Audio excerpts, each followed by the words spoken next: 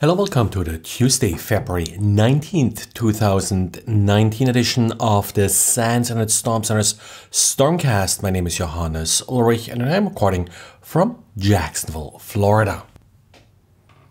A reminder today from Didier about knowing what you log. Didier takes the example of a little bit an odd log format created by an Arduino application. Now, of course, no, not a lot of people do run Arduino in sort of in enterprise networks and the like, but it's really sort of just an example for that you sometimes end up with logs that are really difficult to read and where you first need to spend a little bit of time to actually research the log format. This is of course in particular difficult if you run into this log after a possible incident. So always uh, best practice to take a look at your logs before there is an incident in order to figure out am I able to read them? What do these logs actually mean? Or in some cases, just who do I ask for help to actually explain to me what this log means? That's in particular important for custom application where often it's just the developer that actually created the application that can really explain the context for these logs. And a group of researchers with Google uh, is took a step back and sort of took a high-level view at the various Spectre vulnerabilities and different mitigation techniques. Now, one thing they sort of came up with was that really all the software mitigation techniques are insufficient to really prevent That it really takes hardware mitigation in order to protect the system. Without sufficient hardware protection, there is always a chance that different threads are able to read each other's data, which is really sort of at the core of the Spectre vulnerability. Now, the researchers that contributed to this paper, they distinguished themselves by being the team behind the Google Chrome JavaScript engine.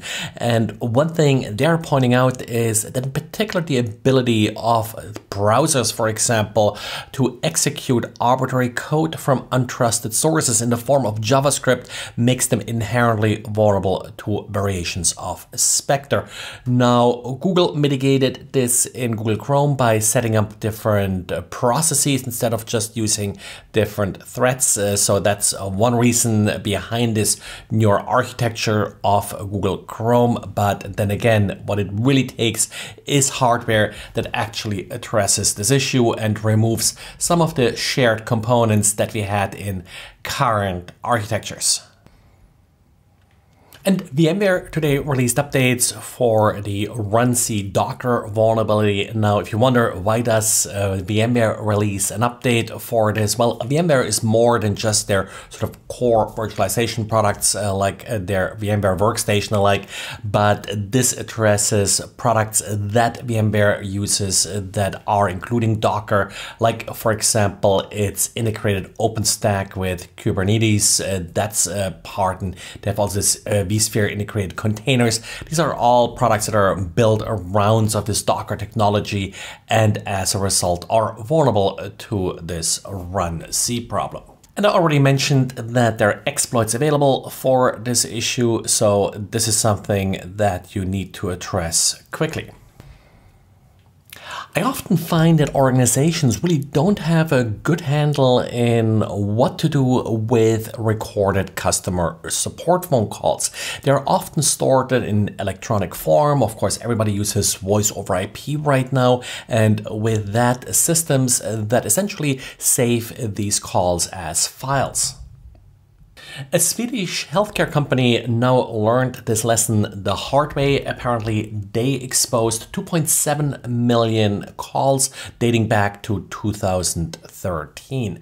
In a video, it is uh, displayed how these calls are pretty much easily accessible via an exposed Apache web server. Looks like they have directory listings enabled. So once you find the right directory, you see a list with all these call files split up in into different subdirectories and all you have to do is download them. Now there are a number of different solutions that you can purchase or install and set up uh, that will protect yourself here that either encrypt the data, they will also in some cases allow for example customer service agents to mask part of the call that contains specific sensitive information. But of course the one place where you definitely should not expose them or them is an exposed Apache web server. Well, and this is it for today. So thanks for listening and talk to you again tomorrow. Bye.